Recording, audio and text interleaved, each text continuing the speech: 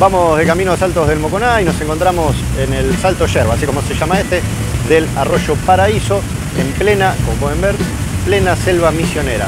Hay decenas de este tipo de saltos acá en la provincia de Misiones, pero siempre está bueno hacer una paradita y ver la fuerza de la naturaleza. Está muy crecido el río, por eso también este caudal, y ahora habrá que ver si podemos ingresar o no a los saltos del Moconá. Hasta hace unos días estaban cerrados, haremos el intento.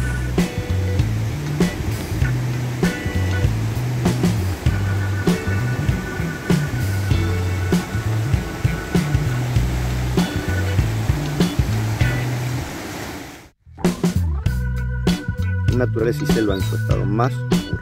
Aunque el día no acompañe, algo se alcanza a apreciar. Vegetación, vegetación, vegetación, más vegetación.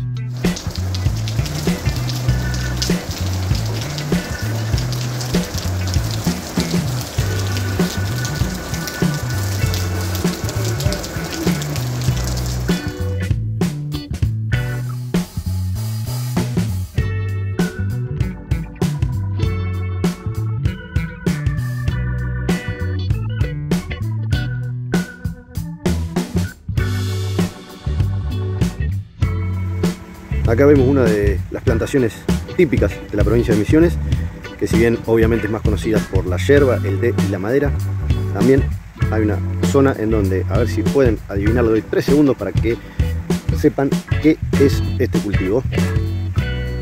Tabaco, sí señores, tabaco también en la provincia de Misiones. Otro cultivo que suele encontrarse, principalmente en la zona del Soberbio, en Misiones, es la citronela, que sirve para elaboración de aceites esenciales.